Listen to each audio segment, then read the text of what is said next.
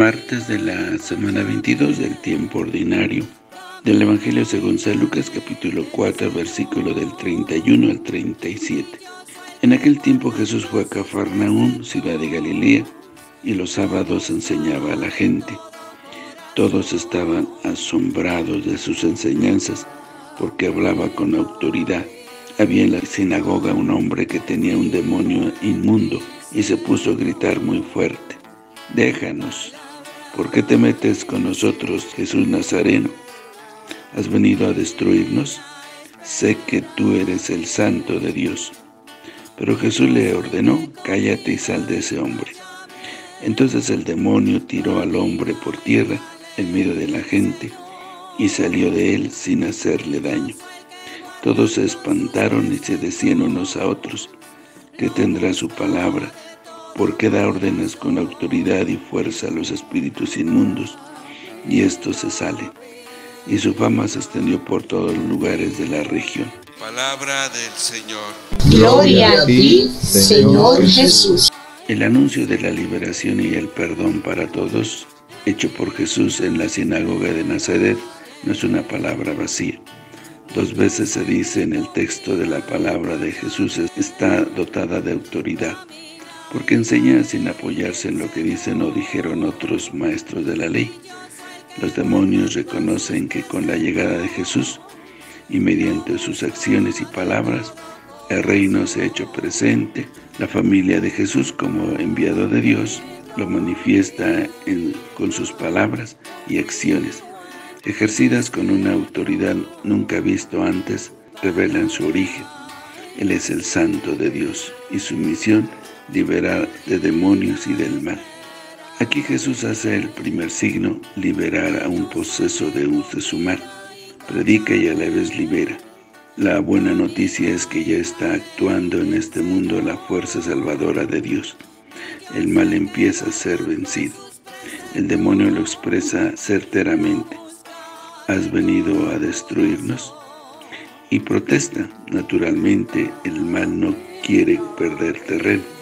Jesús libera a toda persona a veces la le, le, cura de su enfermedad, otras de su posesión maligna, otros de su muerte y sobre todo de su pecado.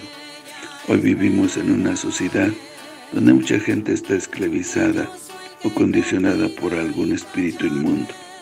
La palabra de Jesús nos trae una propuesta de vida y nos viene a liberar de las hechanzas del maligno. La iglesia es continuadora de la obra de Jesús.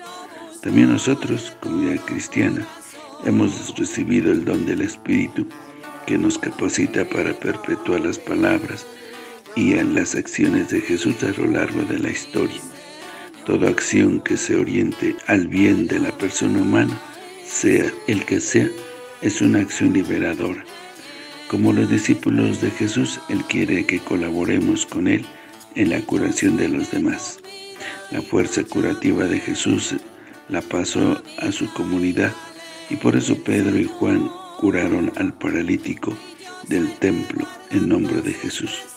La iglesia con sus sacramentos, por su aceptación humana, por su anuncio de la buena noticia del amor de Dios, debería estar curando males y posesiones de todo, dando esperanza, liberando de esclavitudes, venciendo el mal. Que el Señor los bendiga.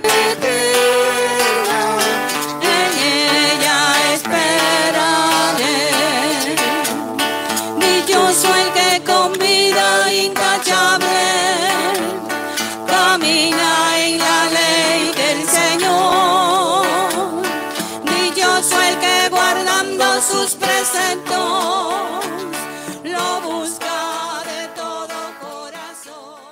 La bendición de Dios Todopoderoso, Padre, Hijo y Espíritu Santo, descienda sobre ustedes, que los acompañe siempre. Que el Señor los bendiga. Si te gustó este video y deseas seguir recibiendo el Evangelio, misa en vivo, oraciones y muchas reflexiones más. Ayúdanos a seguir creciendo. Suscríbete a este canal de YouTube. Activa la campana de notificaciones. Deja tu comentario. Dale me gusta. Y compártelo con todos tus seres queridos. Que el Señor te bendiga a ti y a toda tu familia. Bendiciones.